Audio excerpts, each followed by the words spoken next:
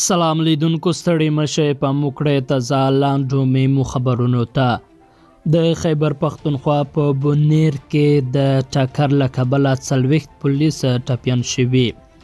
د خیبر پښتونخوا په بونیر کې د انتخاباتو د خوندیتوب لپاره د روانو پولیسو بس له لارې سره ټکر شوی چې له کبله یې څلوېښت پولیس ټپیان شوي دي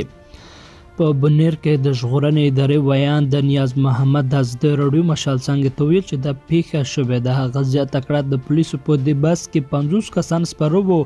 او له منډان سپلم کلي سره نږدې له یوې لارې سره ټکر شوی دی نوموړي ویل چې په ټپي شویو څلوېښت پولیسو کې د شپږ روغتي حالت ښه نه دی د نوموړي په وینا دا پولیس د انتخاباتو پر مهال د دندو ترسره کولو لپاره ډرې اسماعیل خان ته روان و په پاکستان کې را روانه پنجشنبه پارلماني ټاکنې کېږي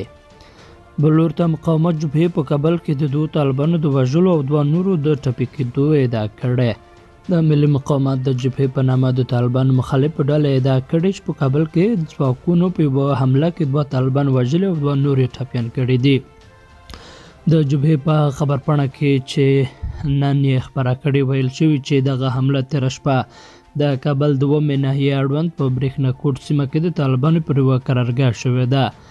دغه ادعا د خپلواکو سرچینو لخوا تایید شوې نه ده او طالبان هم د دې موضوع په باب تبصره نه ده کړې